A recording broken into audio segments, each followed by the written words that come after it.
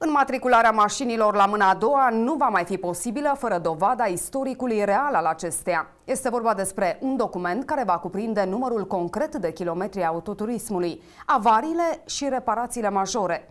Actul va fi solicitat online de către vânzător și va fi obținut de la Registrul Autoromân contra unei taxe.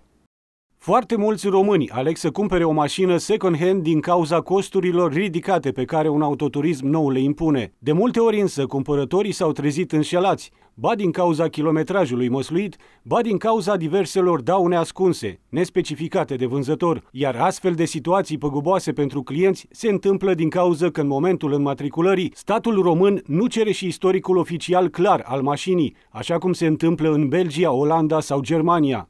Documentul va fi emis în format electronic de către Registrul Auto Român. Documentul se numește RAR Pas Auto și va conține toate datele esențiale despre mașină, vorbind despre daune, dar și despre kilometri reali. Se pare că acest document uh, va fi obligatoriu uh, pus la dispoziția cumpărătorului de către vânzător.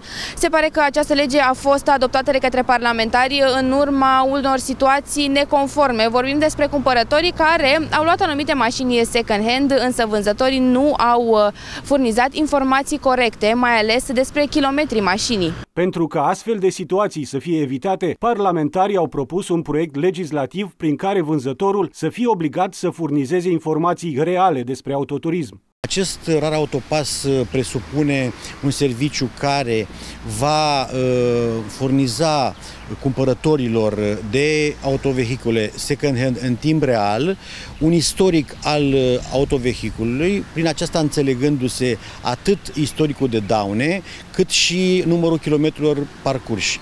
Prin acest act normativ credem noi că venim în sprijinul tuturor acelea dintre noi care doresc să-și achiziționeze o mașină second hand și de ce nu să demontăm acel mit prin care ori de câte ori sau de cele mai multe ori când cumpere o mașină second hand, ți se spune de către cel care o vinde că a fost a unei bunicuțe care a ținut-o în garaj și a mers cu ea doar la cumpărături. Proiectul de lege votat de Parlament așteaptă acordul președinției. Dacă va intra în vigoare documentul RAR Auto PAS, va fi emis cel mai devreme peste un an și jumătate. Până atunci, conform legii, Registrul Auto Român va fi obligat să-și implementeze platforma de date și informații în acest sens, atât cu ajutorul stațiilor proprii, cât și prin intermediul centrelor ITP autorizate.